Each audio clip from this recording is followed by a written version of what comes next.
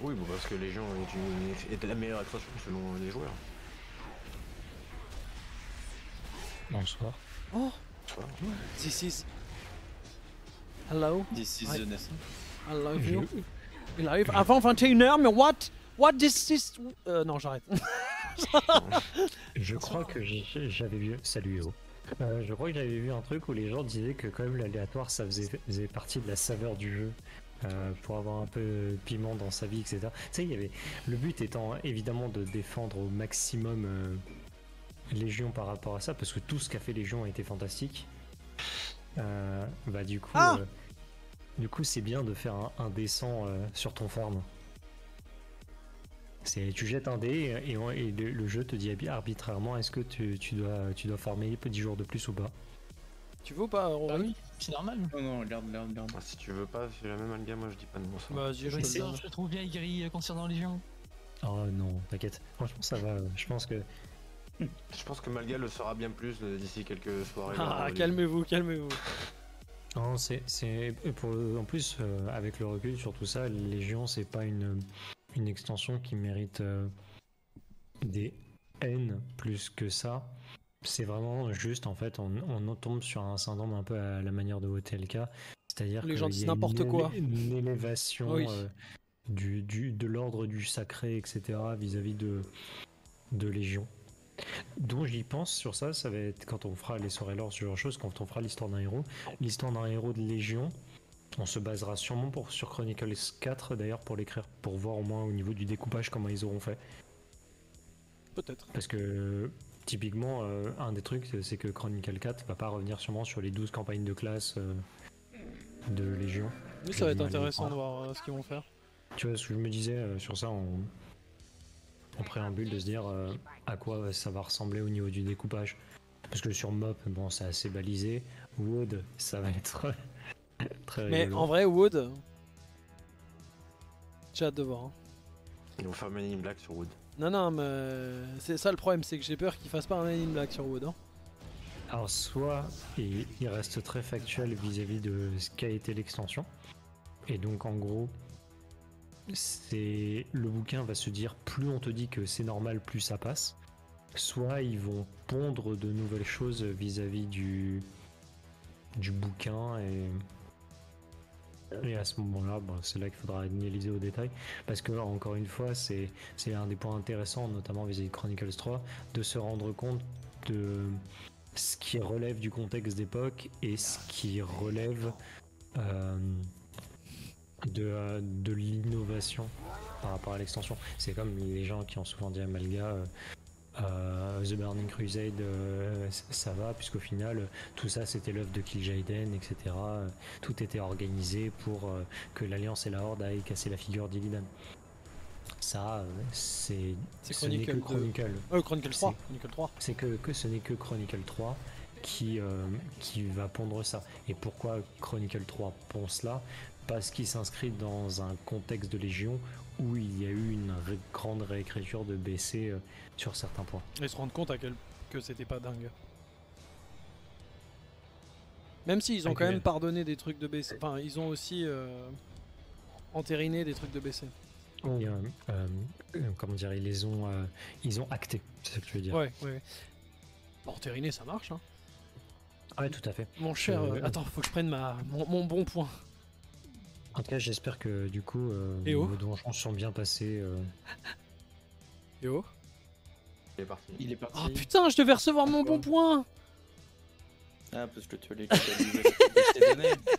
Ah, mais c'est bien, c'est ce qu'il faut faire. Mais oui, justement, je sais. Du coup, j'avais- je voulais recevoir la, la petite image. T'as vu un prog dessus ou pas d'ailleurs? J'ai pas vu. Euh, Si j'ai vu un je prog dessus. crois pas. Non, pas de police c'est tout. Mais merci en tout cas, euh, bah, Rory, merci euh, Malcox. De euh, rien, hein. De rien. ça- je pensais qu'on en ferait deux parce que. Je... Evanescent nous a pris de court. Ouais, ouais, ouais, mais, mais Je c'est. suis Y a pas... désolé. Non, mais non, mais t'excuses pas T'excuses pas Y a pas de Bah, problème. re- retourne, déconnecte-toi. Ouais. Tu rejoins Narcotique sur Classique, s'il te plaît Je sais pas qui c'est. C'est le, le frère de Malcox. Il s'appelle Narcotique, Ah. on s'est dit, quel pseudo incroyable pour Classique Yes, classique local. OTLK, Season of Euh, Discovery. à SOD. Nice. Donc je revois d'ailleurs euh, sur SOD qu'ils vont se dire qu'il y aura enfin des, des patchs de contenu annulés de Vanilla parce que ça y est, vu qu'il y a eu trois mises à jour d'équilibrage. euh, Bah, c'est- sur SOD, il y a un meilleur DH tank que sur Retail, hein. je dis ça, je dis rien. Oui, le, le démo, c'est ça. les sensations en termes de gameplay doivent être Alors, incroyables. moi je te garantis que non. hein. je te garantis que le DH Tank, euh, il n'est pas à plaindre. Et en termes de gameplay, moi je trouve ça trop cool. hein. Je suis pas sûr que Démonis Vanilla, juste avec la métamorphose, ce soit fun. hein. Je pense que monsieur, vous êtes illusoires. Ouais, Vous- c'est vous- ça, vous ouais. érigez en, en modèle de chasteté et de sainteté euh, quelque chose qui est nul. Parce que j'a- j'allais dire, le, le démo tank, euh, même à version SOD, n'a pas de sort d'aggro, on est d'accord C'est façon, euh, façon le paladin où il, où il générait de l'aggro en fonction euh, des dégâts infligés. Oui, il génère plus d'aggro et bon, Ouais. après ils lui ont quand même mis un taunt. D'accord, parce que oui, il me semblait bien que sur Au la paladin, ils avaient, pas le démo. Paladin, au paladin qu'ils avaient mis un, un taunt, et dans le démo aussi, ils l'ont mis. Ah ouais, ils ont mis un taunt au démo? En fait, quand tu te transformes en démon, en, en démoniste, tu génères plus d'aggro sur tes sorts. Ouais. Euh, Donc ça, c'est comme la fureur, base, ouais. qui, à l'époque de Vanilla générait déjà beaucoup d'aggro qui devient instant au lieu de caster. Ouais. Mais juste euh, ton fear est remplacé par un taunt. Ouais, donc il y a une réelle intention d'en faire un, un, un démo tank. euh, Même si, bon, on prend des, quand même des mécaniques de retail, etc. C'est-à-dire Ah oui, qu'un tank sans taunt, c'est peu envisageable quand tu te prends vraiment au sérieux. Mhm. Mais bon, ça. Parce que ça, il l'avait mis, comme tu dis, Malga au, au pal. Parce que euh, le, le taunt du paladin, je sais plus, ça, ça date de quoi De Cataclysme. kata je crois, on le dit. premier taunt paladin ça vient de BC, mais le taunt paladin de BC est un peu particulier. Parce qu'on est d'accord, c'est fureur. Wotelka. Parce que le paladin, si je dis pas de bêtises, pré-kata, c'est en gros, il a passivement une génération de, de menaces plus importantes, etc. Ce que tu évoques, le, le fameux taunt passif, mais en fait, c'est pas vraiment un taunt, c'est juste que qui génère plus d'aggro en général. En, euh, en fait, euh, dès Vanilla, il a sa fureur vertueuse qui augmente la génération d'aggro sur ses techniques de sacré. Enfin, tout ce qui fait des dégâts de sacré font plus d'aggro. Mais en fait, à BC, ce que j'appelle le taunt qu'il a, c'est qu'en fait, c'est pas un vrai taunt, c'est que il va target un allié qui a, qui a l'aggro et il reprend l'aggro. Ah ouais, c'est euh, l'inverse du, du Du coup, tu détournement quoi. C'est là, là. Littéralement, tu dois target la cible de ta target pour taunt cette enfin, bref. C'était C'était les de c'était Chad, hein. énorme. C'était les gigas de Chad. Bah, on peut comprendre qu'à l'époque, par contre, sur le- les gameplays un peu balbutiants, ils essayaient grosso modo euh, de ne pas uniformiser les, classes. Et en gros, c'est ce qui a été reproché et qui en même temps aide à une certaine compétitivité du jeu, c'est que d'en haut, au fur et à mesure de l'avancée du jeu, les classes se sont retrouvées avec des outils globalement similaires.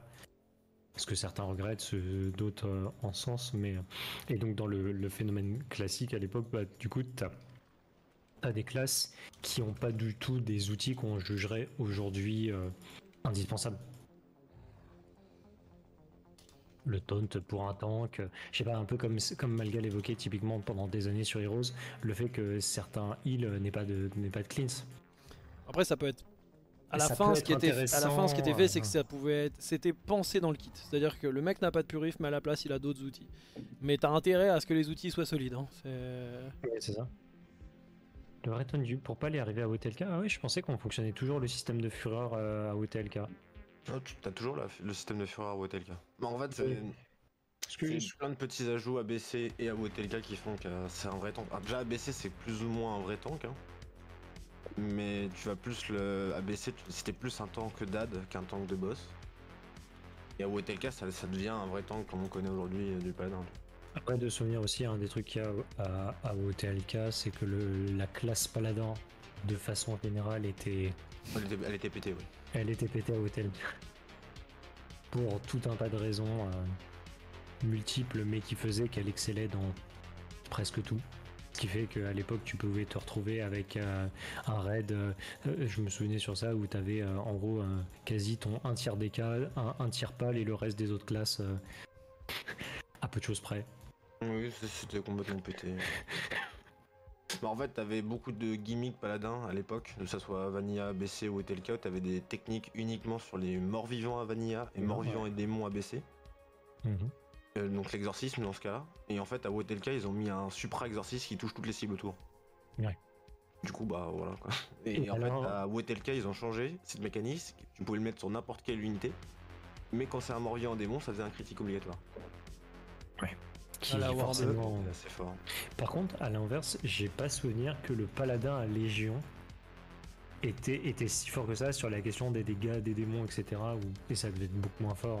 euh. Hum, en fait, le Ah seul oui. truc qu'il a comme gimmick à Légion, c'est en ret. Tu sais, c'est le, le gros cliff qui fait devant Ouais. lui, là, euh, le truc de, de son arme prodigieuse. Ouais. faisait un stun sur les morts vivants, les démons.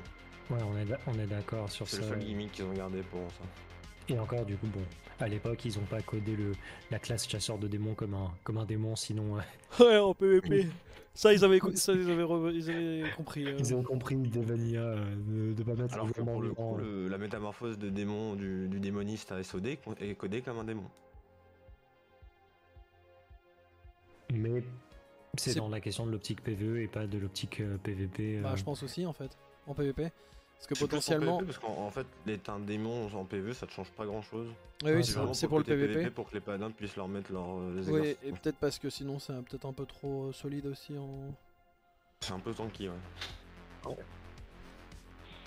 Et au passage, merci Va pour le raid. J'ai tweeté. Donc le programme de la soirée, Ah. je rappelle Chronicle 4, Gilneas et Bellames, globalement. Puis ensuite on verra. Euh, archive. Tu me disais aussi archive que tu voulais faire. Ah oui, c'est vrai. Non. Euh. Non, c'est lui qui m'a proposé en Ouais, plus de, moi, de ouais. l'intercaler. euh, Ah, il faut que tu Euh, vois par toi-même à quel point euh, on s'est pissé À côté dessus quoi.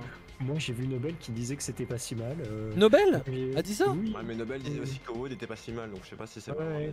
J'ai vu, j'ai vu Yann Bates, euh, donc le Richard Guy, qui, qui dit que, que franchement, il y a plus de contenu qu'il qu'il espérait, etc. Et que c'est intéressant. Non mais ils sont tarés, hein, ils sont. Ah, non, mais parfois. Par contre, un des points euh, sur lequel peut-être que tu as vu le gameplay sur ça, qu'apparemment ça annonce vraiment les prémices de la refonte du métier de l'archéo, en gros, de ce côté-là, Et en termes de gameplay. Ouais, bah, je pense, aussi, sérieux. je pense aussi que ça annonce un autre truc. C'est qu'ils ont enfin trouvé une, euh, une façon de, de pas rendre les événements comme le Kinook useless. En gros, si t'as une mini-map, Ouais. tu- en gros, t'as une map à l'intérieur de l'événement et je crois qu'en fait, le- l'événement, tous les serveurs se rejoignent. Enfin, du moins, ils créent plein de layers euh, inter-serveurs. D'accord. Parce que grosso modo, ça fait appel à- aux anciens événements, etc. Et donc, Ça du coup, hein. D'accord. Parce que tu sais aussi. Oui, parce qu'il y avait des Anglais ça- qui étaient avec des Français et tout, euh, j'ai vu ça. euh, Parce que ce qui pourrait être intéressant en plus, euh, sachant qu'on sait que la mécanique d'événements, euh, là, au fur et à mesure que les extensions de mots avancent, il y en a de plus en plus, etc. Je pense typiquement aux, aux Anso de, de Nzot à Outloom, etc. S'ils arrivent avec une mécanique d'archéo à, à repousser euh, ce genre d'événements et à inciter des gens à faire des anciens événements d'autres extensions, ça peut être. Ça peut être sympa. Après, je j'ai pas encore testé la feature gameplay, donc. euh, Après, ce j'ai que veut dire EO, C'est qu'il Ouais. y a une. En fait, c'est un peu comme Alterac à Vanilla. C'est-à-dire, t'as as une nouvelle carte qui s'ouvre. Tu vois, c'est, je sais pas comment dire. C'est. euh, En fait, c'est comme Oui, si. comme si- euh, Bah, Valdraken. Valdraken par rapport à Talrasus. ouais. Ça t'ouvre une, euh, une petite carte en fait, une mini carte euh, du coup. Tu es dans la travée azur, mais il y a une nouvelle carte qui apparaît à l'endroit où tu es. Est-ce que ça veut dire que du coup on est téléporté ouais. Ouais. Ça veut Peut-être. dire que t'es téléporté, Techniquement, j'y sans suis pas allé, euh, j'ai juste vu, donc euh, je sais pas. mais sans écran de chargement du coup Ça veut dire aussi Oui, bah ça c'est pas déconnant, hein. t'as des changements de phasing en permanence sans que tu Ouais, sois. oui, oui. Sans que tu sois en écran de chargement, euh, donc ouais, tout à fait, euh, tout à fait plausible. Alors, je Pour moi, ça, c'est leur façon de, de de- de- d'éviter de faire que les anciens événements de la même sorte soient useless. Sur les petits serveurs, tu vois. Mm, C'est que, cool bah, parce si que. t'arrives sur un petit serveur et que tu veux faire Kinook, euh, bonne chance. quoi. Mais, mais ce qui rappelle aussi d'ailleurs que la restriction guild et tout va peut-être euh, concerner euh, toute, toute l'Europe, hein, parce que c'est, il y avait des joueurs anglais et tout sur le phasing, donc euh, Comme je dis, pour moi, ça, ça va être sûrement Europe, hein, leur, on verra. leur histoire. Peut-être pas dé- dé- développer à la langue. euh, Super Even qui un jour ne seront plus représentés par le corps de chasse maroc. c'est vrai, c'est vrai, c'est vrai. Bon, attaquons Chronicle, parce qu'il y a des choses à dire, mine de rien, sur Chronicle Je vous 4. laisse, du coup. Bisous, euh, Eo, Je merci à toi. dans le chat. De quoi? Je décale dans le chat. Ah, oui, oui, d'accord, d'accord. Oui, moi aussi. Bah, bisous, Malcox, merci à toi. Bonne soirée à vous. Et merci Et Rory, rien, bien bonne sûr. hein. soirée et- et bon courage. Merci. Merci. Ça en dit tellement long sans en dire beaucoup euh, ce qu'il vient de faire. Euh, alors, je vais juste faire ça.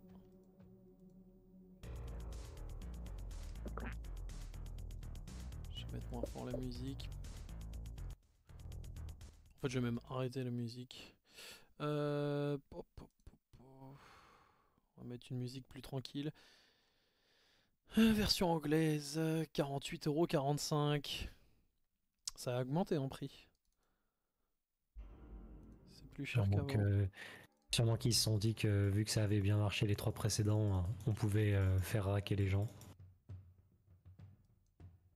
Je sais pas du tout d'ailleurs euh, pour l'instant. Euh, Panini, je crois pas, a, pas annoncé euh, sa prise en charge euh, de l'édition française. On espère vraiment qu'ils vont pas passer à côté. Totalement. Ça, c'est c'est quelque chose qu'on abordera si on, si on aborde Chronicle 4. L'inquiétude vis-à-vis potentiellement d'une parution française ou pas se, se comprend. Euh, Je pense- lorsque, Je pense qu'il n'y aura pas de bah, problème, euh, c'est sûr que vu que les derniers livres, parce que c'est pas que les, enfin les romans n'ont Il pas y a de. les deux derniers romans, donc Sylvanas et euh, La guerre des émerveillés, donc War of the Scaleborn, n'ont pas été édités en français. Et pour moi, ce que lui qu'on peut rajouter, c'est donc le Dragonfly Codex, dont on n'a pas de news. Pour, et pour moi, c'est surtout celui-là. C'est vraiment Ouais. celui-là, parce que les romans, on sait que c'était Ouais, pas forcément Panini Comics qui les avait, alors que les bouquins, aussi. euh, les, les bouquins type euh, Chronicle et tout, ça c'était Panini Comics qui les avait. Et ils avaient d'ailleurs celui de Shadowlands, le Grimoire de l'ombre terre. Ouais. Mais ils ont pas pris le le truc, euh, comment ça s'appelle le, tu l'as dit, le, code- le codex euh, des îlots dragons là. Le- le- Ouais, le, Dragonfly Codex, c'est comme ça qu'il s'appelle, qui était grosso modo, il faut se dire, c'est le grimoire de l'ombre terre, mais version Dragonflight, donc c'est-à-dire que c'est le bouquin qui va vous parler de du lore de l'extension sur un format papier. Euh, Est-ce que c'est des bouquins qui sont vraiment intéressants? Bah, si, pour les On peut imaginer les collectionneurs, ou pour ceux qui veulent avoir une version écrite de l'extension en cours, ou la dernière en tout cas, ça, ça peut se comprendre. Par contre, c'est des bouquins qui ont peu de pertinence Ouais. pour les gens qui ont vraiment bien joué Même, au même, jeu. même pour quelqu'un qui n'a pas joué au jeu, la pertinence d'un bouquin pareil. On est quand même dans une période euh, où la vie est difficile, tu vois. Genre, acheter, Ah oui, euh, pour, pour des questions d'inflation, oui, c'est des, c'est des acheter livres un bouquin pertinents. euh, 30 euros euh, et il a beau, l'extérieur est beau, machin, tout ça. Sachant que j'ai pas vu le bouquin, le, le chronique de. Enfin, le codex de, des Zéo Dragons, mais ça m'étonnerait qu'il soit aussi joli en plus que les Explorons. Parce que si à l'intérieur Ouais. c'est pas dingue et qu'en plus euh, le livre est pas très. Parce que les Explorons c'est de la merde à l'intérieur, mais au moins ils sont jolis visuellement. Pour de la déco, ça vous fait une chair la déco, mais pourquoi pas Le. Ouais, les, ces bouquins-là, euh, type euh, Grimoire de l'ombre terre ou, ou Dragonflight Codex, effectivement, c'est des bouquins, je suis d'accord avec toi. Si on doit faire sur les rythmes de priorité, c'est vraiment pas du tout prioritaire, sachant que du coup, ce sont des livres qui ont peu d'informations exclusives. Sachant que on a eu euh, la chance d'avoir des petites sources qu'on peut pas donner, hein, pour le coup, je suis désolé, faut nous croire sur parole, mais des petites sources internes en termes d'édition et euh, on va dire que Chronicle ça se vend très bien, mais très très très très bien. Les Explorons, même le, même le Wotelka où ça aurait pu faire péter le champomis, euh, ça ne fait que baisser. Et honnêtement, c'est mérité, c'est de la merde. Donc, euh, le problème, c'est juste que du coup, Panini Comics, peut-être que ça va les, les calmer à vouloir prendre les droits les et qu'ils se rendent pas compte en fait de ce qui va se vendre et ce qui va pas se vendre. Et c'est dommage parce que Chronicle. bah après, je dis ça, Chronicle, peut-être qu'ils vont mettre leur bille dessus et ils ont tout intérêt vu qu'ils ont les Chronicle 1, 2 et 3. J'allais dire s'ils ont les, fiches Chronicle, etc., même s'ils connaissent pas, trop le produit, là le fait qu'il y a un peu estampillé la marque Chronicle, de leur côté ils se disent bon ok ça c'est c'est du solide. Et je suis assez d'accord, hein, c'est si dommage parce que les Explorons ça avait vraiment du potentiel. Ouais, mais en fait on n'explore rien. C'est ça Non, qui est très on- drôle d'ailleurs. hein. C'est un titre qui s'appelle Explorons, mais tu n'explores rien. En gros c'est plutôt derrière c'est les explorants ça avait du potentiel mais c'est aussi de se rendre compte quelle était leur démarche derrière les explorants et la démarche vis-à-vis des explorants c'est répondre à ces personnes souvent qui évoquaient Ah, mais ce serait bien d'avoir couché sur papier euh, le, le lore des extensions, etc. Sauf que euh, ça le fait de manière très plate avec euh, le contexte de l'extension du moment. Très bizarre. C'est-à-dire que grosso modo, ça va prendre des personnages de l'époque de la sortie du bouquin. Ça fait qu'ils sont très datés en fait dans, dans, dans leur contexte. Je dis ça par exemple. euh, euh, explorons euh, Kalimdor euh, se le- déroule vraiment euh, dans un contexte Shadowlands. Euh, ex- explorons le Northandre se déroule vraiment dans un contexte très fin Shadowlands, début Dragonflight, etc. Et Sauf qu'il parle, sauf qu'il présente une zone qui est restée à son époque. c'est ça. Où C'est- le cas pour, pour, pour le Northrend, mais avec du contexte fin SL. Et le, le pire étant, je pense, Explorons Azeroth, Royaume de l'Est et Kalimdor, puisque tu as un contexte BFA SL avec, quand même, ça c'est fort, des zones restées à l'époque de Cataclysme. Parce que ces bouquins-là ne prennent pas trop le risque de parler d'avancée de ces zones et donc ne fait que de décrire de manière très factuelle la manière dont vous pouvez les voir encore aujourd'hui, c'est-à-dire du contexte cataclysme. Donc ça fait que pour un univers persistant, le MMO est figé dans son époque euh, d'édition, euh, enfin de parution, qui est potentiellement de, de 10 ans en arrière. Ce qui est très, euh, ce qui est très bizarre. Si, si en plus vous rajoutez derrière les pages sur de description de loot in-game qui sont qui ne servent à rien. C'est de la là pour le coup j'utilise pas souvent ce terme, c'est de la merde en barre, mais vraiment. C'est quand ils font ces descriptions de gameplay, je vois pas comment ça peut satisfaire des fans de gameplay et des fans de lore. De toute façon, un fan de gameplay, il que- achète pas ce bouquin. Oui. Déjà. Euh, Et, et donc de décrire avec des termes un peu loristiques des trucs de statistiques de gameplay, c'est vraiment c'est d'un inintérêt, ça n'a pas de pertinence, ça ne crée rien, ça ne fait rien comme ressenti, à part de dire ah mais moi aussi j'avais ces chaussettes euh, quand je jouais à cette extension. Alors l'exemple, par exemple, bah, euh, vous avez, euh, je sais pas, notamment encore une fois, Explorons les Royaumes de l'Est, qui est aussi très imbriqué dans une euh, période de masturbation classique, parce que ça, ça rentre dans le contexte aussi.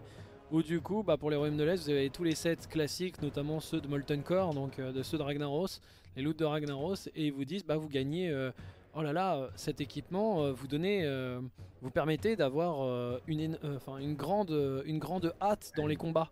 Pourquoi? Parce qu'en fait, c'était un, un objet hâte. Et en mode, non, non, vraiment, vraiment, c'est ça. Et pour vous dire à quel point il faut pas acheter, il faut vraiment boycotter ces bouquins, je trouve. Vraiment, euh, je dis rarement ça, mais pour moi, les bouquins. euh, alors, je précise, c'est pas Chronicle, hein, c'est les Explorons Explorons. Royaume de l'Est, Explorons Kalimdor, Explorons à- ah, en français c'est à la découverte de, c'est exploring en anglais et c'est à la découverte d'Azeroth, etc. Et ça, euh, vraiment, c'est. Pour moi, il faut pas acheter en fait. Ça, c'est le pouvoir du client, c'est ne pas acheter. Parce que c'est vraiment de la merde. Et d'une certaine manière, on peut aussi le dire, le grimoire de l'ombre terre et comme tu dis le, le Dragonflight Codex sont des grands cousins des, des explorants. Ouais.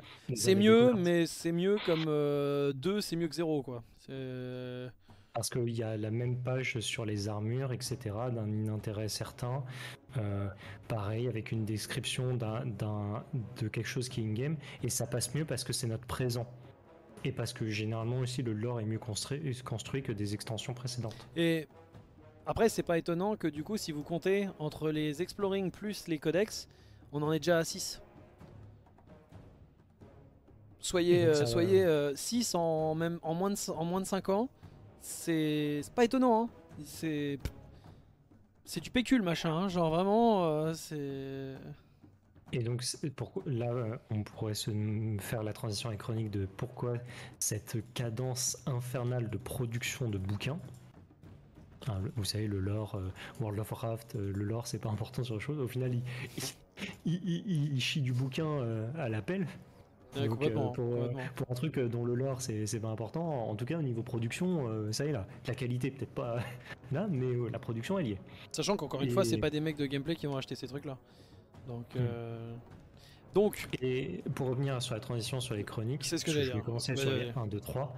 c'est que ce qui a été présenté officiellement comme à l'époque la Bible de Warcraft, c'est-à-dire les chroniques euh, présentées. Je sais pas si à l'époque ils avaient présenté les trois volumes. Non, c'était que trois- que le premier. Ouais, Donc ouais. vous avez trois ouvrages qui viennent en gros des origines de l'univers de Warcraft, pas les origines en mode euh, la date de création du jeu, ce genre de choses, vraiment l'origine de la création de l'univers sur le tome 1, de l'origine de la création de l'univers euh, jusqu'aux événements de Warcraft 1. Puis ensuite vous avez Chronicle 2 qui parle des origines de Draenor jusqu'à euh, du coup il s'arrête euh, Chronicle 2 il se Warcraft 2. termine avec Warcraft 2 puis ensuite vous avez euh, Chronicle 3 qui vous fait Warcraft 3 Non. Vanilla BC Non, non, non. Oui, Entre si, War mais 2, War entre- 3. Entre, entre War 2 War 3 War 3 Vanilla BC Entre War 3 OTLK, Vanilla. entre War 3 Vanilla Vanilla BC OTLK Cataclysme Cataclysme. Et euh, donc là, nous allons avoir Chronicle 4, si tu veux te charger de, la- de sa petite présentation. Alors du coup, euh, là où... Alors je crois que je les ai. Ici. Je te les, les Non, je les ai. je les ai Je- en tête. Je euh, les ai ici. Donc le premier volume, c'était Medivh, donc du Mhm. rouge, enfin du noir avec teinté de rouge en référence à Medivh, Sargeras, tout ça. Nous avions le Chronicle volume 2 qui était marron et vert, enfin ouais, vert surtout, euh, avec le Gul'dan de Wood pour parler de notre, notre Draenor. Et nous avions le troisième en blanc-bleu, on va dire un bleu ciel, pour nous parler euh, avec en, en première image Tyrande. Et donc bah, le quatrième sera rouge avec du coup Vol'jin en tête de file et j'ai l'impression qu'on a changé d'illustrateur. C'était du Peter Lee avant et là j'ai l'impression que c'est du Bayard Wu. Ouais, c'est Bayard qui dessine comme ça. Je suis d'accord avec toi. J'ai vraiment pensé comme toi à du Bayard et il est magnifique son Vol'jin. Ouais, ouais, il est très très beau son Vol'jin. D'ailleurs, le fait que Bayard s'occupe de ça, moi, ça, ça donne beaucoup d'espoir pour, euh, pour ce perso. D'ailleurs, je tiens à préciser, donc, euh, ce bouquin, le K4, va donc couvrir les événements de MOP, WOD, Légion, BFA et Shadowlands. Et dit comme ça, je sais qu'il y en a pas mal qui ont. euh, J'ai vu beaucoup de réactions et j'ai voulu attendre. Euh, j'ai voulu attendre ce, jeu, enfin, ce jour pour pouvoir en parler. J'ai vu plein de personnes dire Oh là là, euh, attention, le cas, le Chronicle volume 4. On va revenir peut-être aussi sur la critique des Chronicles. J'ai fait une vidéo d'ailleurs, un point d'exclamation euh, chronique. Mais les, les Chronicles, beaucoup de gens ont dit Ouais, le 4, euh, oh là là, couvrir autant d'extensions, c'est de la folie, etc. etc je, je crois que vous vous rendez pas compte que le Chronicle volume 4, c'est celui qui est le plus humble en termes de période à couvrir. Je, pense vraiment que vous vous dites, ah putain, Mop, euh, Wood, Légion, BFASL, ça fait 5 extensions, c'est énorme. Je, je crois que vous ne vous rendez vraiment pas compte de Chronicle volume 1, de l'ambition de Chronicle volume 1. On parle de la création du cosmos jusqu'à Warcraft 1. Et il y en a des trucs, hein. Ensuite, vous ne vous rendez pas compte de l'ambition de Chronicle 2, qui est de faire toute l'histoire de Draenor, plus tout ce qui se passe, l'ascension de la Horde, donc euh, les Draenei, tout ça, l'ascension de la Horde, Warcraft 1, Warcraft 2. Rien que ça, c'est... Et, Et ensuite- aussi. Hein, de quoi. Warcraft 2 avec, euh, du coup, Tides of Darkness plus Beyond. Oui, avec l'extension, bien sûr.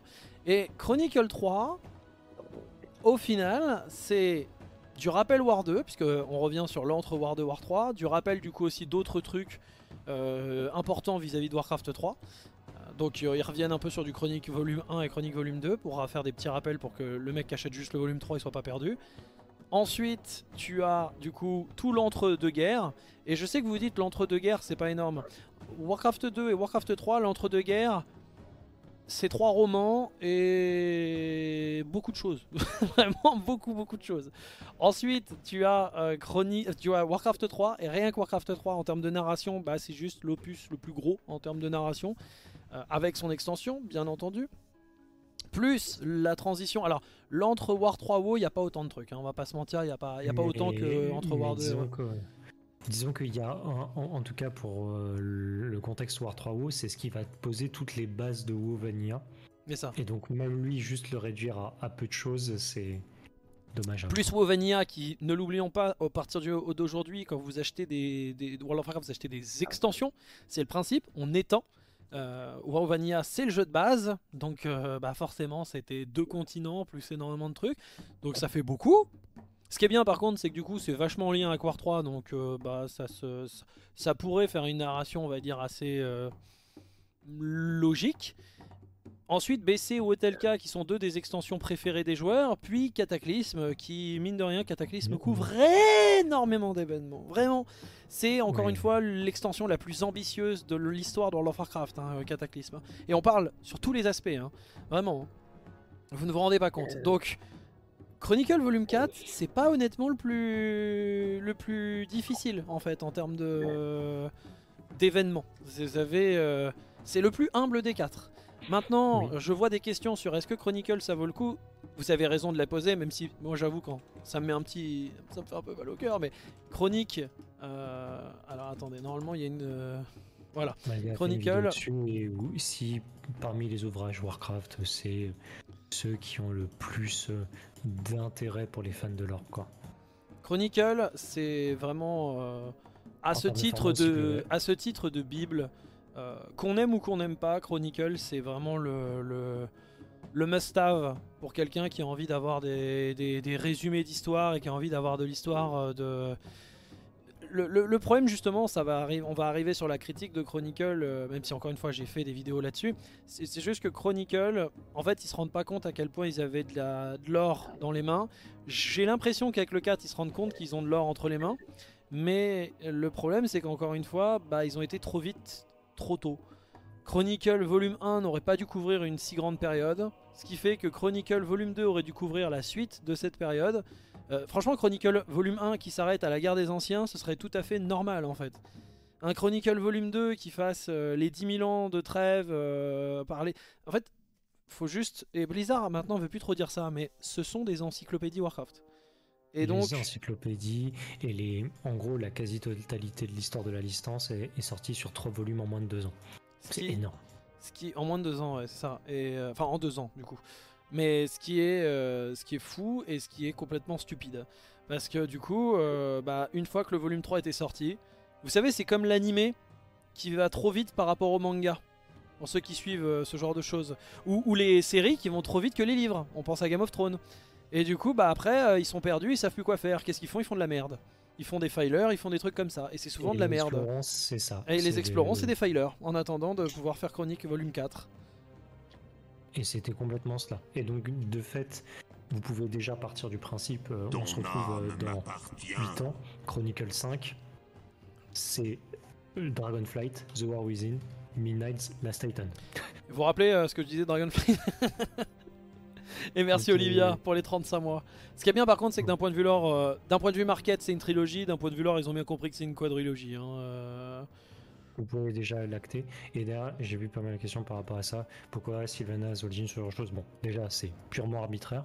Par contre, vis-à-vis du perso de Vol'jin, pour moi, euh, ça reste important, euh, ce personnage-là, vis-à-vis de- des extensions euh, suivies. Oui, c'est ce que j'allais dire. Mob, C'est ce que j'allais dire. euh, il devient, il devient. euh, C'est la rébellion de. Vol'jin. Il est un personnage Avec- central de la Horde à- et de l'ensemble de l'extension. C'est là, c'est l'extension où il a, il a son bouquin. Quoi. Voilà, c'est ce que j'allais dire. Il y a quand même un bouquin qui est sorti pendant Mob qui s'appelle Les Ombres de la Horde avec Shen et Vol'jin en, en tête. Donc Wood, ensuite, même si Vol'jin n'est pas vraiment présent, bah, c'est le chef de guerre de la Horde. Ah. C'est donc le moment où il va mourir. Moment où il va mourir et il va euh, léguer sa place à Sylvanas. BFA, l'extension qui revient sur les trolls. On parle des Andalari, mais on parle aussi du coup de l'héritage de Vol'jin. C'est ça. Les quêtes euh, concernant l'héritage de Vol'jin et euh, qui nous explique d'ailleurs que Vol'jin, son statut en tant que mort est particulier.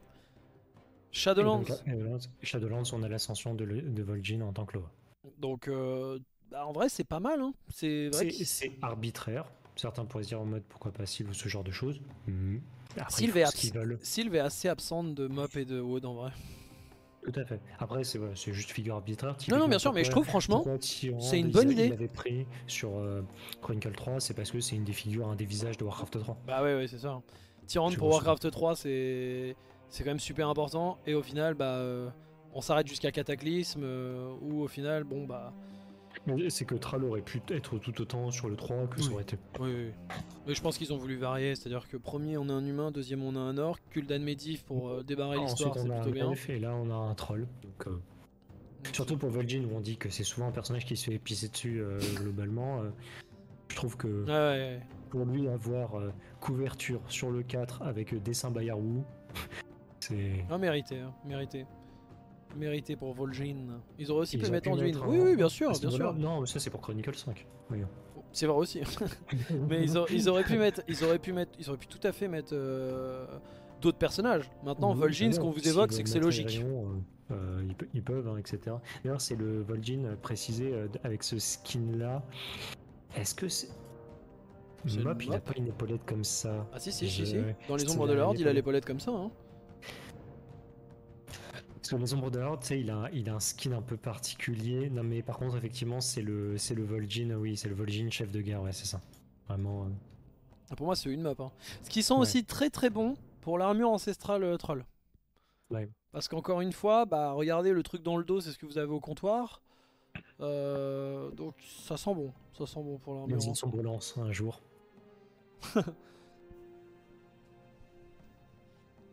Quand on regarde les arbres derrière, quand on regarde les arbres derrière, c'est une jungle. hein. Ça pourrait être. J'allais j'allais euh, te dire, ça pourrait être Sangleron, ça peut être les îles de l'écho, ça peut être euh, tout ce que tu veux. C'est simple, c'est. Euh, Vol'jin est très représenté au milieu, euh, très souvent représenté au milieu de la jungle parce que c'est un troll des jungles. Je, Jusque là, euh, ça me semble, ça me semble cohérent. Ça semble, ça semble logique, c'est ça. Hmm, ça semble logique, exactement. Je t'en vois, avec plaisir. Donc voilà. Donc euh, en réalité, euh, pour moi, on, on peut vraiment se dire que ça peut être à peu près n'importe quelle. Sauf si on arrive à identifier la plante et qu'on me dise Non. effectivement. Non, non. c'est- ne commençons pas, ne commençons pas. Euh, ne commençons pas. Non, non, non. Non, mais du coup, euh, ça peut être qui a fait pas de très d'ailleurs euh, les affiches de Warcraft 3 pour Malfurion, tu sais, qui prenait en mode qui se qui se hissait à travers les fourrés, etc. Comme tout comme ils Mhm. l'ont fait avec les Warguns à Cataclysme, etc. Je sais pas si ça lui a servi de base ou pas. Tu, tu vois, si tu Je vois les vais, images. je vais l'afficher pour que le stream co- comprenne de quoi on parle. Notamment, pareil sur la malédiction des Worgen, t'as, t'as- t'en as un, un, un artwork pareil de personnages qui sort des fourrés. C'est, c'est des images assez iconiques de, de Warcraft. Que je peux te le retrouver, euh, celui non. des Worgen. Non, non, mais t'inquiète, je les ai tous. Là-dessus, il a pas de Euh, problème. parce que t'as, t'as Malfurion, voilà, avec euh, sor- sortie des fourrés. Sachant que Hurlorage faisait un hommage à cette, euh, à, à cette euh, partie-là, sortant des fourrés. euh.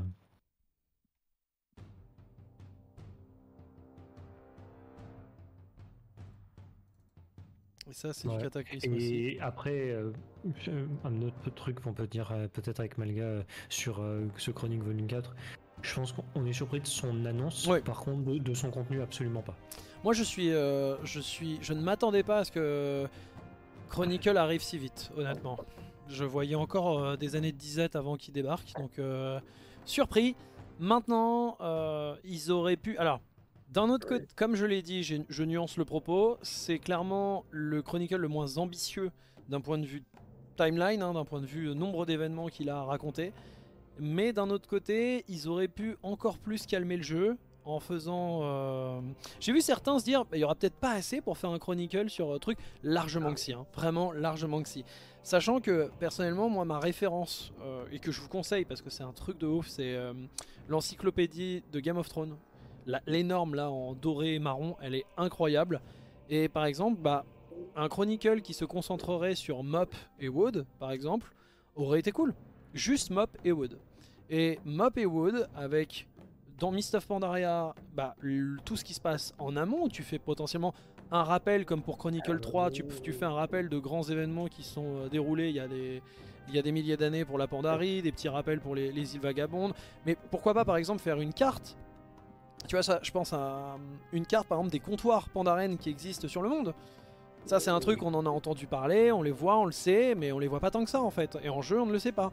Donc, l- laissez le jeu de côté pour une fois et montrer que bah non, les pandarènes ils, étaient, ils étaient présents aussi. Il y avait des comptoirs pandarènes des îles vagabondes. Potentiellement nous montrer, tu sais, des trajets cycliques de l'île vagabonde euh, dans le monde, tu vois, un- une espèce Mhm. de carte maritime euh, de, de- de l'île vagabonde euh, qui fait des 8 ou je sais pas et qui revient. Ce genre de truc. Et vous allez me dire, bon bah ça c'est pas des dingues. Mais en fait, expliquer un petit peu tout ça, nous expliquer, euh, par exemple, faire des arbres généalogiques des arbres généalogiques pour euh, bah, des, des- des races, par exemple. Faire à un moment donné, tu rappelles bah, l'ensemble des trolls. Donc voici euh, les trolls originels avec les différents descendants euh, trolls, etc. Des arbres généalogiques, super cool. Des, des hum, une frise chronologique, une frise chronologique. Ça, ça te couvre. euh, C'est une fait une double page, une petite frise chronologique là. Et- Par contre, je suis un peu inquiété sur l'auteur. C'est pas un mec de chez Blizzard, l'auteur. J'ai pas vu, mais euh, ça j'ai pas vu. Mais attends, juste pour finir, Du coup, qui, est, ce qui est intéressant, ce genre de choses, c'est par exemple aussi euh, ce que fait Game of Thrones avec euh, ce truc-là. Ça va être, euh, par exemple, on parle de Vol'jin. Est-ce que vous connaissez le père de Vol'jin? Est-ce que vous connaissez le père de Vol'jin? Je pense que beaucoup ne savent pas comment s'appelle le père de Vol'jin. Et ce n'est pas grave, il n'y a pas de honte. Blizzard s'en bat les couilles. Donc forcément, par exemple, c'est l'occasion dans ce genre de bouquin peut-être de mettre en avant. Bah, le papa de Vol'jin, il s'appelle Senjin. C'est pour ça, le village de Senjin, c'est en l'honneur du papa de Vol'jin. Et est-ce que vous connaissez la maman de Vol'jin Eh ben, on ne le connaît pas. On ne sait pas comment s'appelle la mère de, de Vol'jin. Ce sera l'occasion de parler de la mère de Vol'jin. On sait que Vol'jin, comme ami, il avait Zalazan. Est-ce que vous connaissez Zalazan? Vous voyez ce que je veux dire? C'est par exemple, bah, on parle des, des sombrelances du coup. Et donc en présentant les trolls sombrelances, on te parle des grands noms des trolls sombrelances. Et donc par exemple, bah, euh, qui est euh, l'un des fondateurs de la tribu de Sombrelance Est-ce que vous savez qui est le fondateur de la tribu de Sombrelance Personnellement, je ne le sais pas. Ce, genre de choses, en fait. Ça, c'est une encyclopédie. C'est un truc, dans Game of Thrones, vous l'aurez, ce genre de choses. Et ça, c'est super. Parce que quelqu'un qui aime le lore, ah, il, en bouffe, hein. Mais évidemment, c'est beaucoup plus difficile à préparer ce genre de choses que euh, de devoir euh, se taper des explorons mes couilles, il n'y a rien à faire. hein, euh. Ça, c'est sûr que c'est beaucoup plus facile à faire. Donc, forcément, on aurait pu. Donc, personnellement, bien sûr, c'est le Chronicle le moins ambitieux en termes de période, mais ça reste pour moi déjà trop parce que. Bah, je sais pas ce que t'en penses, mais je vois pas une transformation. euh, Non, ils vont rester vraiment sur le format. Par contre, je te disais, ce que je voulais regarder, moi, c'était les auteurs. Et les deux les auteurs euh, cités pour euh, ce bouquin. Donc, ils sont deux. Alors, je sais pas s'ils sont de la même famille, en tout cas, ils ont le même nom. C'est Matt Forbeck et Marty Forbeck. Les deux sont cités, deux auteurs différents. Et aucun des deux n'est de chez Blizzard. Ce qui est en même ont- temps très bien et en même temps pas bien. Bah, disons que là, maintenant, moi, je connais la méthode des Explorons où en fait, ils font des livres de commandes. Et j'avoue que si dans, dans les, les là, c'est il y a que ces deux-là qui sont cités en auteur. Il y en aura sûrement plus. Mais ne pas avoir euh, des grands noms du lore actuel qui sont mentionnés sur euh, la préparation du bouquin, je suis pas serein. Un truc comme ça. Euh, ce qui est un peu bizarre, c'est que t'as pas des. T'avais quand même des mecs euh, sur les premiers Chronicles qui étaient pas déconnants. euh. Bon, t'as Ouais, Joseph c'est Lacroix vrai, qui bravo. revient. Pour... Ça, c'est Ouais, cool. Les illustrations. Bah, les illustrations, ça va être très bien. Bayarou et Joseph Lacroix, c'est nickel. Sachant qu'il y en aura d'autres. hein. Pour le moment, c'est que les deux premiers de crédité. Euh, donc, comme prévu, Bayard Vous. Je sais pas si toi t'avais l'info, moi je l'avais pas, mais ça, ça sentait du Bayard Vous à 100%. Je reconnais son, trait, moi. le- Moi, le- ce- le, pa- petit. l'arrière, l'arrière, je reconnais. Le petit crayonné là. C'est du Trois Royaumes, ça, je reconnais. Ça veut dire du coup que les illustrations seront magnifiques. Enfin, faut juste. Bah, attends, attends, attends, attends, attends, attends, attends, doucement. Ça dépend de ce qu'on demande à dessiner à Bayard, Bayard, parce que si on lui demande de dessiner euh, des trucs moches, ben il pourra pas faire ce qu'il peut. Mais par contre, ça veut dire euh, du des Art of Warcraft avec Gero sur Chronicle 4. Mais euh, globalement, en fait, euh, moi je me rappelle pas tous les tous les auteurs de Chronicle, mais t'avais bah, Eh du ben, coup c'est ça, Matt Burns. Matt Burns Robert exactement. Brooks Et Euh, Chris Metzen. Bon, ah oui, c'est Robert Brooks le troisième. Je pensais à un autre. Ah oui, bah du coup, Robert que vous connaissez tous, euh, Robert Brooks qui a quitté Blizzard et Matt Burns qui est chez Blizzard mais qui maintenant bosse que pour Diablo. Et bah, honnêtement, c'était des grands noms de chez Blizzard, hein, euh, les trois hein, pour le coup. Et ils sont tombés dans des petites bêtises aussi. Hein, c'est pas pour autant euh, C'est juste que par exemple Brooks, on peut lui co- reconnaître un certain talent d'écriture, je trouve. Oui, je oui, trouve que c'est un homme qui écrit bien. En fait, Ouais, c'est- un, auteur. Vraiment, dans l'idée, c'est celui qui va te mettre sur papier des trucs très stylés. Euh, même si, bon, c'est lui du coup qui nous a fait euh, WoW Patch Notes sur Chronicle Volume 3 aussi. hein. Euh, Tout à fait. Et au passage, c'est aussi euh, ma grande frayeur, même si ce ne sera pas une surprise. Chronicle Volume 4, préparez-vous à du WoW Patch Note. hein. La différence, peut-être, c'est que vu que on va commencer par Mop et que on n'est pas sur du BC ou euh, du Vanilla BC ou cas où les patchs sont tellement décorrélés les uns des autres que mettre ça à l'écrit c'est moche, c'est vraiment nul. Peut-être que ça sera plus smooth, on va dire, plus, plus fluide, plus, plus tranquille pour Mist of Pandaria. Mais à voir. Après moi le passage WoD, euh, honnêtement, je souhaite même pas à mon pire ennemi de s'en occuper. hein. Vraiment, euh, c'est c'est terrible. hein. C'est vraiment terrible. hein. Pourquoi je parle de crainte vis-à-vis d'ailleurs de ces auteurs euh, extérieurs de chez Blizzard? C'est ce que Malia évoquait en mode ça peut être un point positif et un point négatif. Point positif, en gros, bah, ils vont pas penser Ou euh, en gameplay. WoW, c'est-à-dire vraiment le, le côté le jeu vidéo, ils vont essayer de bâtir un univers. Moi, là où j'ai maintenant j'ai plus d'appréhension à force, c'est que j'ai lu les Florons. Dont la plupart des auteurs n'étaient pas des personnes de chez Blizzard et dont à qui on a passé des livres de commandes, en gros. Ça fait très Yes Man du cinéma, si vous suivez un peu le cinéma. C'est-à-dire euh, quelqu'un qui va dire oui à tout le monde parce que bah, ils l'ont embauché pour qu'il fasse ça. C'est pas, c'est pas on récupère parce que franchement moi euh, avec Eva on était très très fan des gens qui ne sont pas euh, chez Blizzard parce qu'il y a, un- il y a un côté consanguinité parfois dans les livres de WoW où euh, tu sens que c'est un joueur aussi des joueurs, ouais, Et donc, du coup. T'es en mode non. Parce qu'on pourrait dire comme ça, bah c'est bien, c'est quelqu'un de passionné, il aime le jeu, il joue au jeu. Bah non, parce que du coup, il va faire du gameplay alors que c'est un livre. Donc du gameplay dans un livre, je vous laisse imaginer, il y a un problème. hein. Le livre, il n'y a pas de gameplay dans un livre.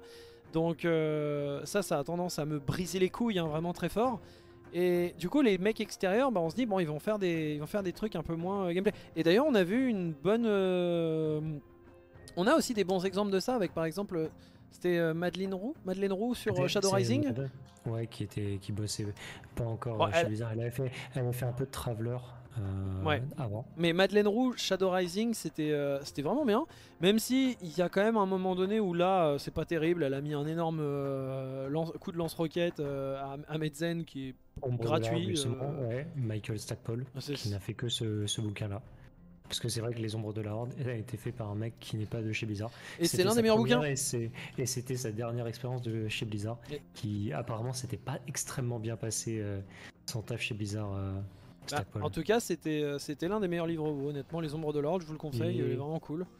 Avec notamment des points que tu sais que tu aimais le t'apprécies moins du bouquin, notamment sur son rythme, avec l'introduction d'un personnage de, de l'Alliance qui était là à une demande en gros de l'éditeur pour euh, en gros que ce soit pas un bouquin euh, centré sur uniquement sur une faction. Vous savez, on vous parle le gameplay qui est inséré dans un bouquin en mode si les deux factions on passe 50% du temps d'écran partagé, ça va pas. Du coup, en fait, il y a un personnage humain qui est forcé dans le récit et qui devient le meilleur poteau de Vol'jin dans le livre, est en mode. Vous remplacez ce, pers- vous remplacez ce personnage-là par Rexar. C'est super intéressant. Et du coup, en fait, bah, tu perds. euh, Le bouquin se concentre sur Vol'jin et Shen, mais du coup, bah. euh, Bon, je, grossis le trait, mais du coup, bah, t'as un tiers du bouquin sur un personnage humain et on se demande un peu ce qu'il fait là. Alors, l'auteur fait quand même bien le taf, donc à la fin, tu t'attaches un petit peu, mais c'est vraiment en fait quand tu apprends qu'après en interview bah, le mec euh, il dit qu'il a il a été obligé enfin on lui a forcé euh, la main pour qu'il crée un humain euh, machin. T'es un peu en mode pourquoi en Il fait? le, le livre s'appelle les ombres de la horde. Ah, Et pourquoi? Parce qu'en fait, c'est joueurs de l'Alliance, joueurs de la Horde, et s'ils n'ont pas une répartition parfaite, il y a donc du favoritisme. Et quand bien même Blizzard euh, essaierait de s'atteler à cette répartition parfaite, il y a quand même des gens qui parlent de favoritisme. Donc, donc pourquoi écouter des, des mecs jamais contents en fait hein, ça, ça, ça sert à rien et euh, pareil euh, en termes d'auteur euh, Enfin, du coup, t'as des- t'as- on a des bons exemples d'auteurs extérieurs de chez Blizzard euh, sur lesquels ça à s'est super base, bien passé. Golden. Golden. par exemple. Golden fait- qui n'était pas chez Blizzard. Aknak n'a jamais été chez Blizzard d'ailleurs au final. Mhm. Donc euh, vous avez des super exemples. Le truc c'est que euh, parce qu'un livre c'est pas un seul auteur, hein, qu'on soit clair.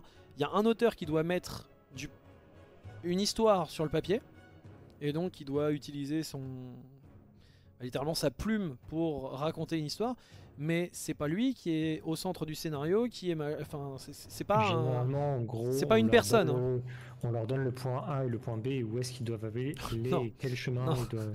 on donne le point A, le point B, le point C, le point D, le point E.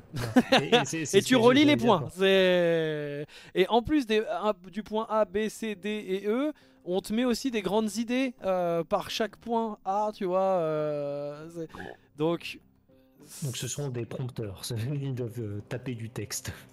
ils doivent relier ces trucs-là. Et des fois, euh, ce qu'on sait, notamment grâce à Christy Golden, on sait que bah y a des moments où elle va proposer des idées et à ce moment-là, c'est les mecs qui vérifient le bouquin, etc. avec qui elle bosse, qui peuvent lui dire non ou oui. Et quand ça dit oui, il peut y avoir des idées intéressantes.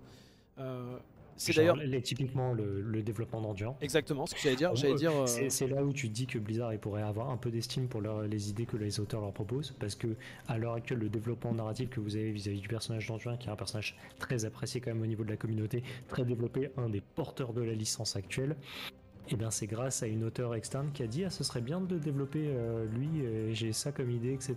Et Medzen lui a dit banco. Ah, pas que Medzen, hein, il était pas tout seul, mais les autres ont dit banco. Parce il qu'ils avait savaient pas quoi faire idée. d'Anduin. Ça serait Ouais. juste le gamin avec des grands pieds et basta quoi. Et du coup, bah, c'est pas mal. Quand tu proposes des idées et qu'elles puissent euh, s'insérer dans un univers euh, dans lequel ça va être cohérent, etc., c'est pas, pas déconnant. Et donc, moi, c'est ce que j'évoque, c'est que très souvent, bah, il y a une espèce de consanguinité dans, dans ces bouquins qui se sent. hein. vraiment, c'est que. euh, moi, j'ai fait là-dessus, si vous voulez vraiment voir, c'est euh, ma vidéo sur le déferlement, qui est le livre pré-Mist of Pandaria, entre Kata et Mop. C'est une catastrophe. hein. C'est, je crois, Evan me disait que c'était le livre où il y avait le plus de références gameplay. Euh, c'est un truc de dingue. hein. Vraiment, c'est un truc de fou. Et l'intrigue, en plus, ils, ils se perdent parce que l'intrigue n'a aucun sens. Vraiment, l'intrigue n'a aucun sens. C'est une catastrophe. Et c'est ce qui aboutit à la destruction de Terra Mort, tout ça. Et le livre, c'est que- du vomi. hein. Vraiment. euh, c'est un des points aussi qu'il faut se rendre compte, ça veut dire que derrière, quand un livre est commandé, il a un objectif fixé. Généralement, il sert de transition entre une extension et une autre. Généralement. Et parfois, c'est obligatoire de le lire, parfois, c'est secondaire. Shadow Rising, vous n'êtes pas obligé de le lire pour comprendre l'intrigue de SL. hein. Et Euh, donc, grosso modo, ce qui se passe, c'est que ils ont, les devs ont en tête l'idée de tel personnage doit devenir comme ça au cours de, à la fin de l'ouvrage, et derrière, c'est à l'auteur d'essayer de trouver comment rendre ça le plus homogène pour la prise de décision. Il y a notamment des grands virements de personnages en fait qui sont de ces bouquins et euh, euh, notamment je voyais sur la, la sphère internationale où ils en sont à blâmer genre euh, en mode ah Golden pour ses choix vis-à-vis de tel ou tel perso c'est pas Golden qui a acté euh, ces, choix-là, c'est généralement les directeurs euh, scénaristes d'époque qui avaient une idée, le personnage il doit aller là. Il doit faire ça. Et elle, tout ce qu'elle fait, c'est l'écrire. C'est ça. Et à côté de ça, vous avez. euh, du, coup, du coup, en fait, malheureusement, il y a aussi beaucoup de contre-exemples de personnes euh, qui, un petit peu à l'image des Yes Man dans le cinéma. Donc, pour ceux qui savent pas ce que c'est, en fait, c'est. Il y, y a un énorme studio qui a besoin de tourner un film et qui va engager un réalisateur qui va lui dire oui sur tous les points. Ils ne veulent pas quelqu'un qui va leur dire non et qui va leur proposer des idées. Ils veulent que la personne ne fasse. C'est pour ça qu'on appelle ça un Yes Man. Quelqu'un qui respecte une commande et tourne ce qu'on lui a commandé. Inutile de dire que bah c'est un job, hein, c'est un travail aussi, hein, mais bah, c'est pas le plus comment dire le plus intéressant intellectuellement pour pour l'auteur du coup. C'est euh, c'est dommage. Alors que généralement, bon, la plupart des films, euh, c'est pas non plus un film où c'est tout l'auteur qui décide tout, mais généralement, bah, il y a une espèce d'o- d'osmose 50-50. Des fois qui se fait dans le calme, des fois qui se fait dans le plus grand tourment. Et faut pas croire, hein, des fois vous avez des films euh, qui sont des cartons pleins, alors que pourtant euh, le film ça a été une catastrophe, il y a eu des engueulades en permanence, etc. Et d'autres où ça s'est super bien passé et le film ne marche pas, hein, il fait un bide. Donc euh, ça, ça veut rien dire. hein. La manière de produire ne veut rien dire par rapport au résultat final. Si c'était euh, comme ça, ce serait un, monde merveilleux, mais malheureusement c'est pas le cas. Et en l'occurrence, ouais, j'allais dire, les explorons notamment. les, explorons, par exemple, euh, et pas que, vous avez des auteurs externes? Là, par exemple, euh, le livre, euh, le roman que tu viens de finir, qui est La guerre des MRGK, c'est quelqu'un d'extérieur de chez Blizzard.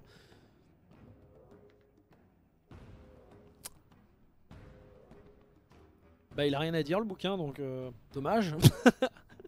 Alors qu'à la base, c'est une personne qui a plutôt écrit de l'horreur. Et euh, Ah oui, bah c'est, pas, bah, j'allais dire, je sais plus quelle œuvre, bah c'est celle-là en fait.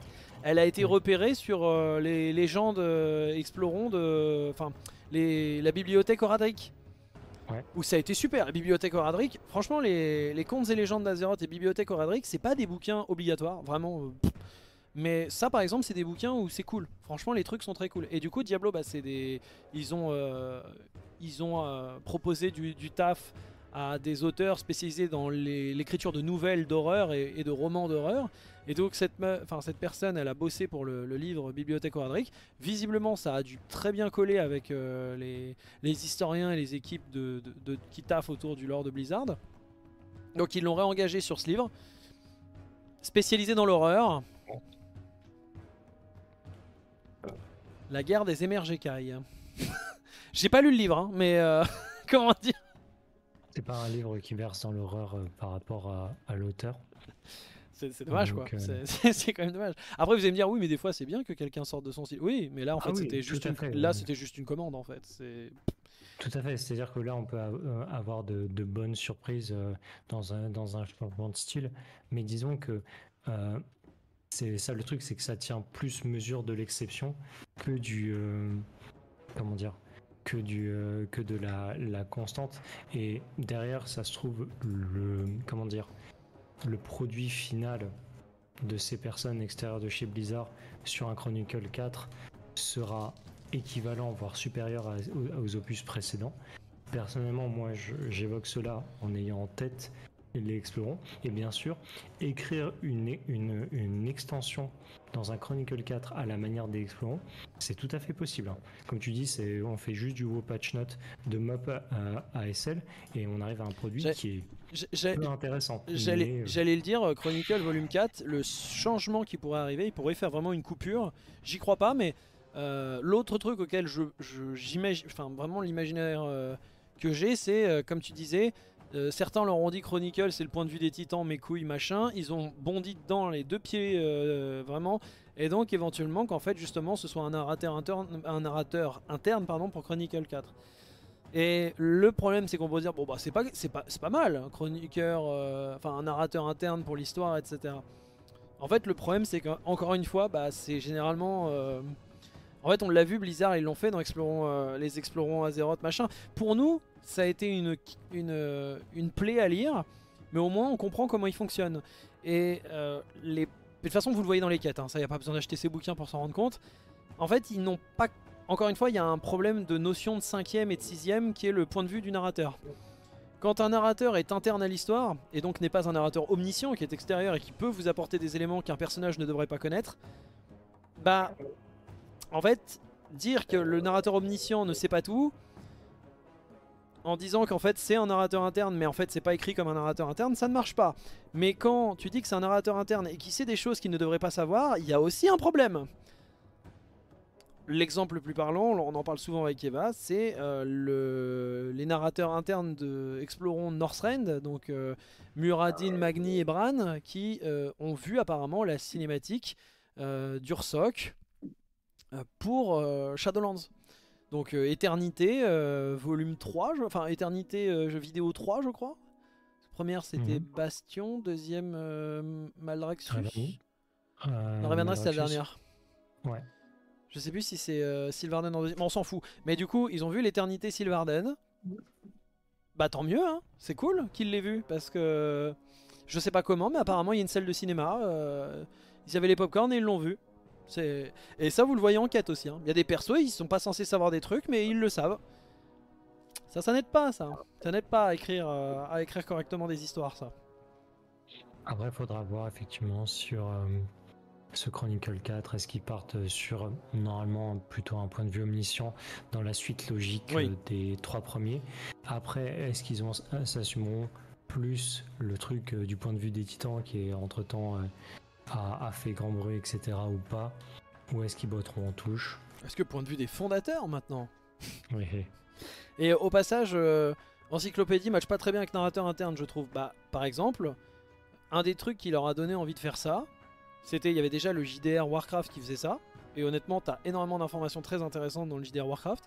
Mais euh, surtout, il y a un univers qui s'appelle Diablo, avec le livre de Tyrael, enfin dans l'ordre, le livre d'Edeckard, le livre de Tyrael, le livre d'Adria et le livre de Loras.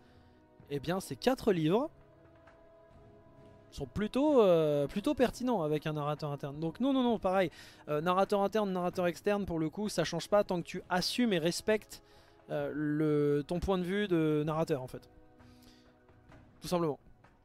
Le narrateur omniscient nous faire des coups de Trafalgar en mode non, en fait, il sait pas tout, c'est un narrateur, un narrateur interne ou euh, c'est un narrateur interne mais qui connaît des trucs de narrateur externe, ça, ça marche pas en fait. C'est- ça le problème.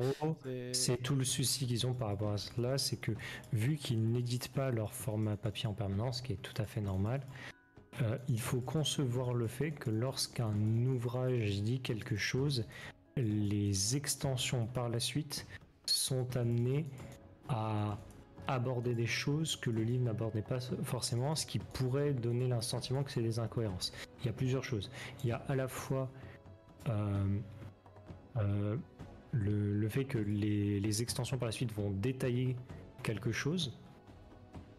Et, et donc les gens se disent dans ce cas le bouquin est plus valable. C'est un des trucs que je pense aussi avant de fermer la page euh, Chronicle, c'est de dire qu'on voit beaucoup que ces ouvrages ne seraient plus canons parce que les extensions récentes les auraient décanonisés. C'est pas le cas, ils sont toujours canons. Canonique. La seule chose, ils sont toujours euh, canoniques. Euh, la seule chose, c'est que euh, évidemment, les ouvrages sont sortis respectivement entre 2016 et 2018. Ils ne vont pas aborder le lore des extensions de 2020, de 2022, etc. On verra forcément des choses qu'on retrouve dans les extensions auxquelles cet ouvrage fait référence. C'est normal, mais c'est aussi normal qu'on apprenne d'autres choses. Et, et ça, c'est. Et En fait, ça. ça- et, et ça, c'était normal, et même dès l'époque, quand ils ont annoncé c'est la Bible, etc., incontestable, ce genre de choses, elle sera contestable de toute manière parce qu'ils ajoutent des choses. Et c'est pas grave. C'est le format papier, c'est normal. Et est-ce que ça voudra dire que ça invalide tout ce qui a été fait avant? Non. Il y aura juste Et des choses, des, des- des choses qui vont s'ajouter à ces, à ces blocs. Et ce qui est le, le piège qu'ils ont à l'heure actuelle du narrateur interne, c'est de se dire en C'est de gros, ne pas vous comprendre ce le- problème. c'est que cette le- réalité le plutôt. narrateur interne, là, ce qu'ils font à l'heure actuelle, c'est pour pouvoir faire en sorte que si quelque chose vient à contredire par la suite le narrateur, bah, ils vous disent, vous inquiétez pas, c'était un narrateur interne. Donc il peut se tromper. il peut se tromper. Sauf que comment il fonctionne à l'heure actuelle, c'est que le narrateur interne que vous avez définit le point de vue général jusqu'à que que- quelque chose le contredise. Et donc, Mais du coup, c'est pas un narrateur et donc interne. ça, ça s'appelle tricher. Et aussi derrière, ça c'est un des gros points, et ça ils ont vraiment du mal par rapport à tout ça, c'est que normalement, si le narrateur dit quelque chose aussi, c'est de pas partir à l'inverse. Et ça c'est un des problèmes qu'ils ont quand ils écrivent des extensions, c'est qu'en gros, c'est une chose de vouloir rajouter des trucs, mais si tu dis des choses qui vont complètement à l'inverse de ce qui a été dit au- auparavant, bah du coup tu fais du mauvais travail. C'est ce qu'on essaye de vous transmettre sur, euh, sur cette chaîne-là.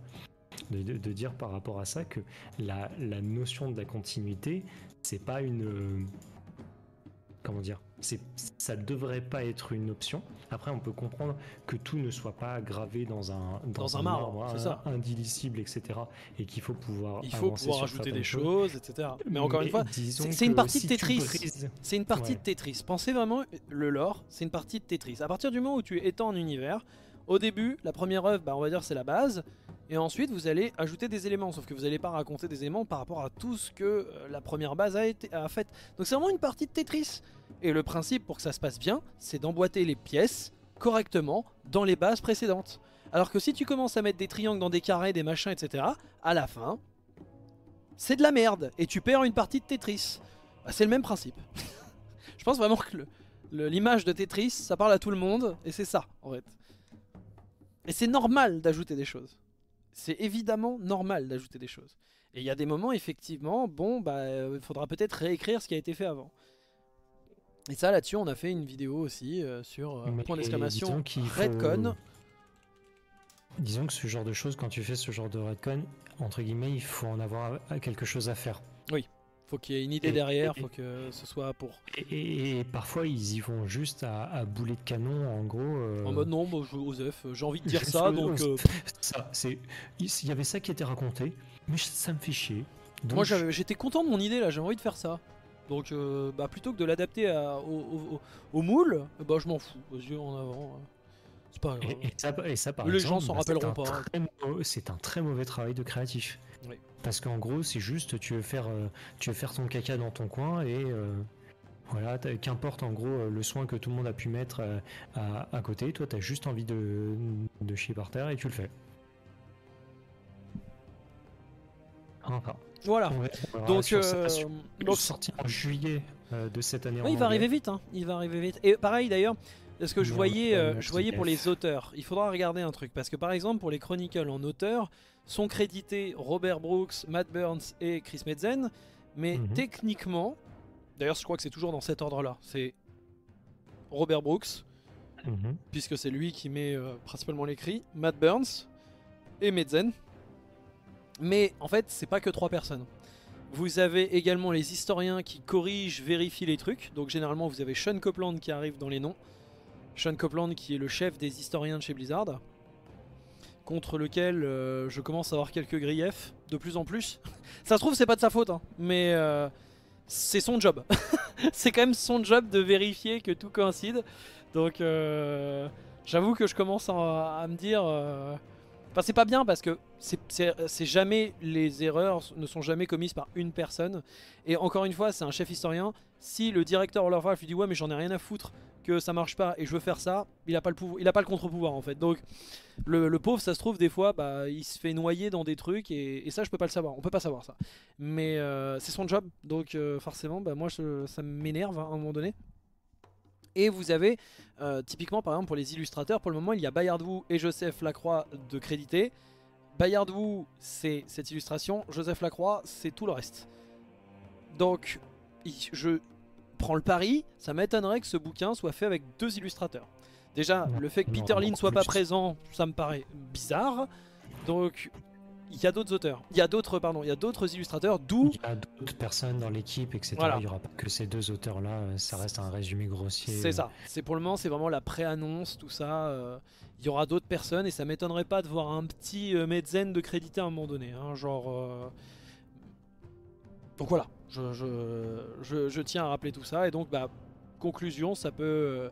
L'intérêt vraiment va être de savoir s'ils vont garder le la même dynamique. Il y a de grandes chances qu'ils gardent la même dynamique, mais peut-être changer euh, la manière de d'écrire. Maintenant, on devrait quand même se diriger vers du WoW Patch Note. Donc, euh, près euh, of Pandaria, Mist of Pandaria, Mist of Pandaria donc euh, 5.1, Mist of Pandaria 5.2, Mist of Pandaria 5.3, Mist of Pandaria 5.4, euh, pré-patch. Du coup, bah, Juste, six. juste avec vraiment un enchaînement très balisé des patchs, quoi. Et ça, pourquoi je dis ça? Bah, C'est le volume 3 en fait. Chronicle volume 3, c'est ça. Donc euh, ça passera peut-être mieux, hein. comme je disais, ça passera peut-être mieux parce que c'est mieux fait après euh, l'histoire de, de WoW. Bon, il y a le passage WoW qui sera très drôle, mais, euh, mais du coup, bah, on verra. Et autre chose euh, par rapport à tout ça, la question aussi de se dire est-ce que ça avancera des choses par rapport aux extensions futures de WoW ou au contenu actuel? Pour moi, vu le contexte d'écriture des chroniques, il y a de grandes chances que cela sorte euh, du cadre juste des, des- des extensions euh, mentionnées et qu'ils aillent Oui, plus oui, loin comme d'hab.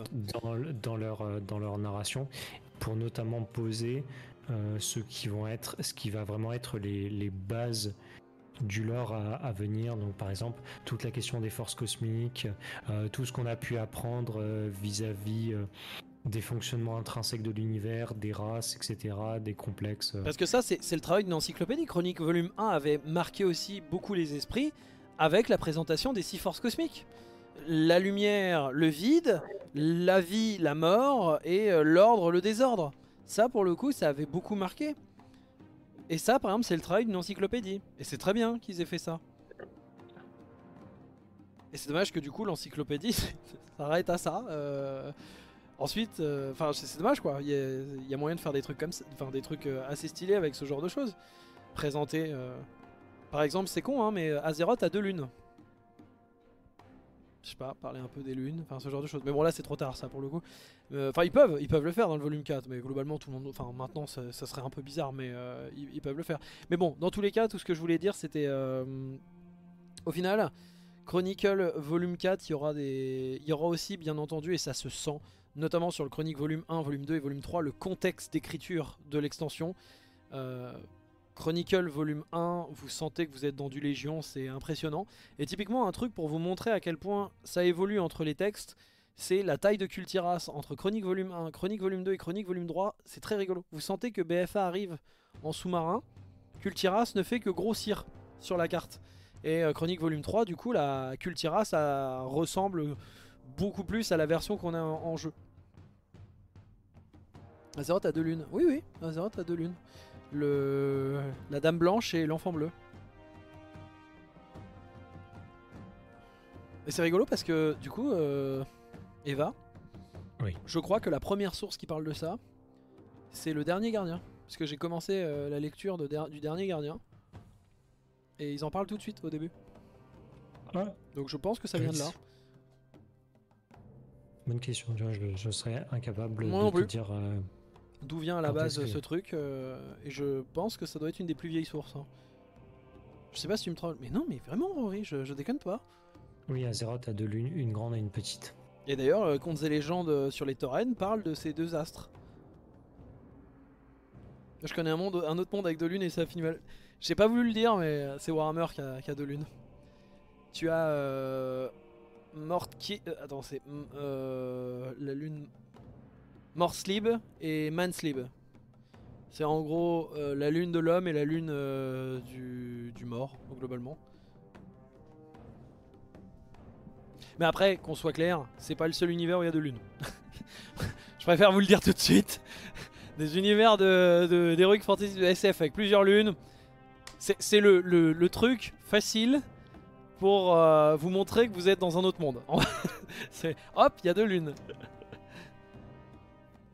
Dans Star Wars, c'est deux soleils. C'est pas pareil. Mais c'est, le même principe. C'est le même principe.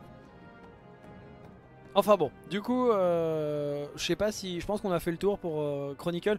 Après Chronicle, je le redis, j'ai fait des vidéos sur Chronicle, j'ai fait des vidéos sur euh, le Redcon et ce qui est le canon. Pour ça que je, je repris Eva et c'est pas en mode. euh, je sais que je vois beaucoup de gens dire ce n'est plus canon, c'est pas français en fait.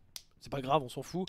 Mais euh, si nous au moins on peut euh, vous rappeler qu'on dit. euh, pas juste casser les couilles des autres, mais par l'exemple montrer comment. le, canon, c'est justement le, le, lore. ce qui est dans le canon, c'est quelque chose de canonique. Voilà, c'est juste pour le, le petit rappel. On dit pas que quelque chose est canon, on dit qu'il est canonique. Ou canonisé. Mais canonisé, c'est quand il vient de rentrer dans le canon. Euh, donc voilà, tout ça pour dire que euh, il y a des vidéos sur le sujet si ça vous intéresse. Euh, clairement, c'est une nouvelle euh, qui est. Du coup, Malga, j'ai vérifié par rapport à ça. L'adjectif canon, adjectif singulier en variant au genre, conforme aux règles de, de la foi, de ce qui est écrit, il est canon.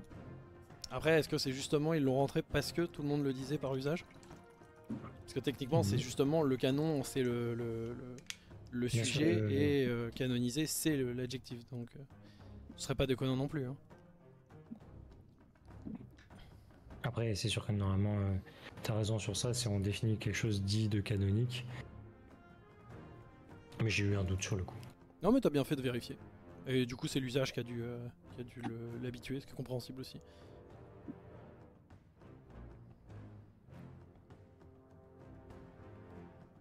On va pouvoir passer à. Oui. Et globalement, voilà, ce que je voulais conclure, c'est globalement le. C'est une nouvelle auquel on ne s'attendait pas et euh, je pense que c'est quand même positif parce que encore une fois, qu'on aime ou qu'on n'aime pas, Chronicle, euh, c'est super important comme bouquin. Et ça fait partie des bouquins où si vous hésitez entre euh, quel type de livre acheter, etc. Chronicle, c'est quand même, je pense, les, volumes. ils sont pas exempts de tout reproche, hein, vraiment. Il y a des défauts, clairement. Mais euh, ça fait partie des livres qu'il faut avoir, je pense, si vous aimez Warcraft.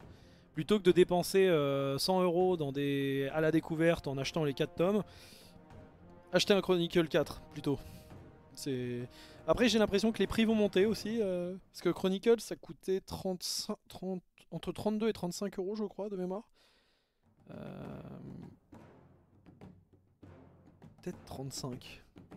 Et là, euh, de ce qu'on voit sur le prix en précommande, il est à 47 euros, ce qui me paraît énorme. Après, Phil Spencer est arrivé, peut-être qu'il faut rembourser euh, les achats Microsoft, euh, je sais pas, c'est possible. Donc, euh, à voir. Mais C'était pour ça d'ailleurs que Bayard, du coup, on l'a surtout eu pour les, les illustrations de patch. Et, et après, au final, assez peu, euh, assez peu de lui euh, en général. tu veux dire que qu'il soit là pour, euh, pour Wo- Wo- Patch Notes, c'est normal du coup? Bah, grosso modo, potentiellement, il, est, il a été mis à- en place pour euh, Chronicle 4, etc. Où c'est là où il a passé euh, une grande partie de son année. euh, qui sera la grosse sortie, du coup. J'allais juste dire, parce que je vois le chat, 48, je viens de vérifier, là, 48,45€ euh, est marqué sur le site. Et 48,40€ là, je vois sur Amazon. Donc, euh, c'est cher. C'est très, très, très, très cher. hein. Très, très cher, hein, finalement, euh, le... le bouquin. Mhm. Mais encore une fois, ce sera toujours mieux que d'acheter euh, les Explorons qui coûtent moins cher. Mais mis bout à bout sont plus chers que Chronicle et ça ne vaut pas son, sa dépense de papier, hein, vraiment. euh. Ça, hein, c'était 35 euros avant les Chronicle. hein. Et euh, l'inflation, si vous vous posez la question, c'est pas 10 euros. L'inflation a bon dos ici. Hein. Donc bon.